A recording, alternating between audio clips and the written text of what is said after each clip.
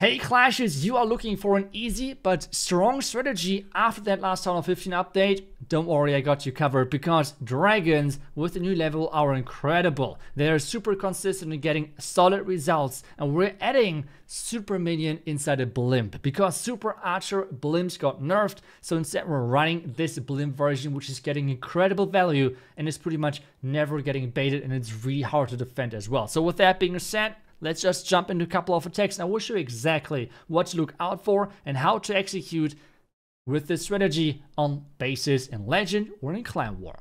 Okay, we have a wonderful box base and we typically have overall three different approaches. The first one is just going straight into the town hall. That's not really an option because two things. First off, there's not a lot value, and two, uh, second, there's like the sweeper. And the other one is from the far side, but there's the sweeper against it. So we would go just from the flank. I will go from this left side. Let's just get something done here. So what I'm going to do is I'm going to try to take down the other fence, like one, two, and then three like that. So we can get a nice funneling done with our Baby Dragon. And then the Rocket Loons are obviously for the other defense with the other two Loons. Then the pathing is just pretty much set for our Dragons to really get a lot of value. And the other defense cannot really wreck our Baby Dragon. So we can then send our king and our queen from this left side to create even a better pathing for our dragons. And then we go in with a couple of loons, just like that. We're sending in, well, actually a couple of black mines, that should be no problem. And then we can just send the blimp in just a second. There we go. I will try to delay the blimp for the... Yep, I will try to get the vulnerability just a little bit. Freeze that. And then we're going to open that, clone that, rage that. And then we're raging all of this here as well. Clo uh, invisible is dead as well. Again, Queen has used her ability, unfortunately, which is kind of sad. So, should we turn something invisible again? We can add the Royal Champ because the Clan Castle is dead, so that's good for us. Let's just, to be honest, let's just use that poison right here for the defending Queen. Let's turn my Royal Champ invisible because I, I like the Royal Champ being alive, that's always a nice thing. And now for the back end, I think it looks pretty good for us. That looks pretty solid for an opening. We still have the invisibility spell to support our our heroes for the back end. We can now play our cleanup right there. And we still have the queen with the king. Like, no, actually not with the king, but with the yak. The yak is still alive. The royal champ doing some more damage, which is great. And the only problem we have is this king. this king is going to be tricky. Let's see. Let's see if we can make that work. We have the Yak tanking. We have the Queen in there as well. We have the Warden dealing damage. Let's hope that that's going to be enough. And we have the Invisibility spell in 50 seconds. Now you might wonder, it's you still have 50 seconds left. And even though you were taking so much time to explain stuff in the beginning, this time is kind of quick. This, this, like, this attack is kind of quick.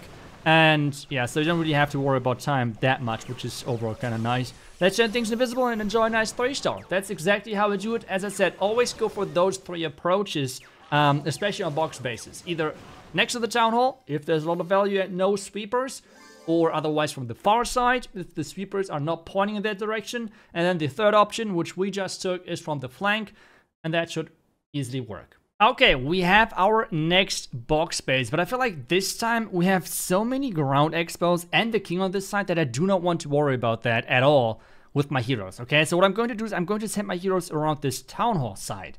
But still, the blimp is going to be from the flank, and now it's all about the rocket loon funnel again. So I want to get rid of this air defense. So what I'm going to do is I'm going to play the rocket loons, then one test loon, like one tank loon pretty much. So that, just like that, Oh, and the last one.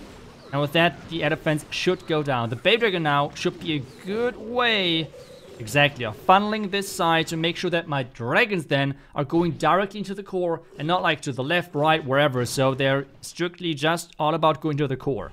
Now on the other side, we're going to play like um, few loons here. I think two should be enough to take down that cannon.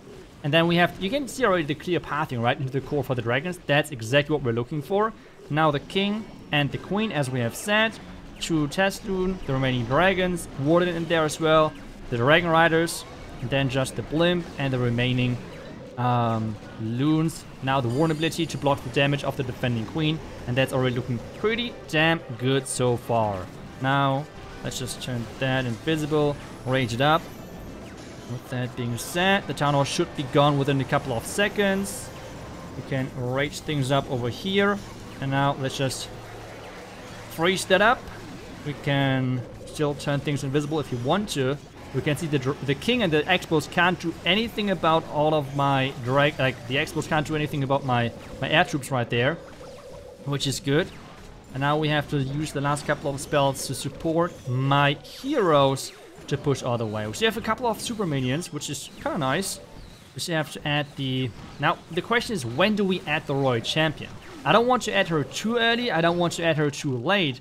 Because if she's like completely on her own and runs into the rest of the damage, that would be bad for us. So I'm kind of waiting right now um, to delay her a little bit. Maybe even wait until the queen is taking down the Royal Champion, I think. Can we already snipe some buildings? No, we can't. Time at this point might be an issue. But let's just see. Okay, so Royal Champion now in with my queen. We can turn both of them invisible. At least, at least that should work, right? Let's turn both invisible. Royal Champ on the menu, the defending Royal Champ at least. Okay. So far, so good. We can use the Queen ability in just a second as well. Just like that. There's a giant bomb. That's unfortunate. The unicorn is going down. Oh no. Did I talk too much in the beginning in the first place? That would be pretty bad. But you can see the idea of this strategy with the pathing, right? So it is all about the setup of the strategy. And that's pretty much giving you the success of nearly always getting high percentage. Nearly always getting high percentage. And as well having a really solid chance of 3 star which is exactly what you're looking for right? Like that's exactly what you're looking for with an easy to execute strategy overall. And well getting close to the 90% 2 star not too bad. Now let's try to get a final 3 star. Okay we have a ring base to finish things off. So what I'm trying to do on a ring bases typically is try to go for sweepers and a lot of value because you do not want to go against the sweeper. So what I'm trying to do is go into a land right behind this air defense because with that we should get a lot of X-Bows. We should maybe even get the eagle and we should get the the sweeper right there. So that's kind of the the go-to thing. So let's just do that with the rocket loons we can use for that. That's no problem. Let's use one rocket loons even over here. And let's hope that we're going to get, as I said, behind the air defense. That's kind of what you're looking for.